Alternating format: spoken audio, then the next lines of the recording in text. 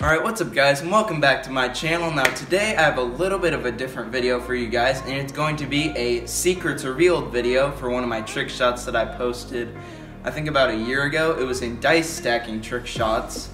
and the trick shot that I'm going to be revealing as you guys all saw in the intro is the D-stack and restack which is actually not possible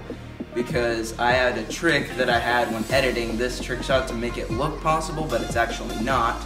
And today I'm going to be revealing my secrets for that trick shot. So I guess let's just get started. Here we go. Alright guys, now for the secrets revealed part of this video, the first part of the trick shot was actually pretty straightforward, which was just a normal D-stack with five smaller dice, not casino dice, but that was before I actually had casino dice and I just did a normal D-stack and ended it at this frame right here where my hand was at the edge of swinging the cup, which leads us right into the first secret of this trick shot.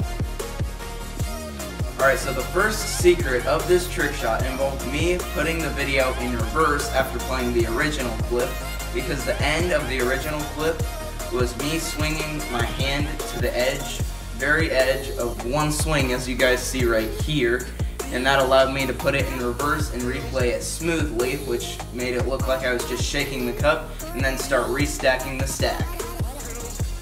And once I had the stacking part completely done and finished, and once it looked smooth, I needed a way to trigger my reaction to make it look like a legitimate trick shot, because if I had no reaction, you guys would probably think it wasn't real. And so this is what I did to make it look real.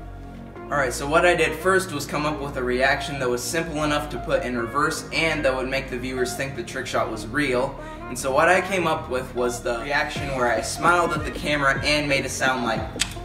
at the same time, which was pretty simple to put in reverse, which I did right before the trick shot and then started destacking the stack.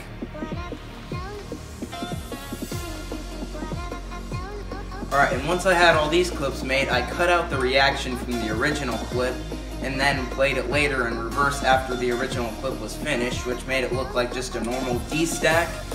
And then once I got to the reverse part, it started restacking up, and then it would show the reaction, which I clipped out from the first part, and that was the trick shot itself. Movie magic.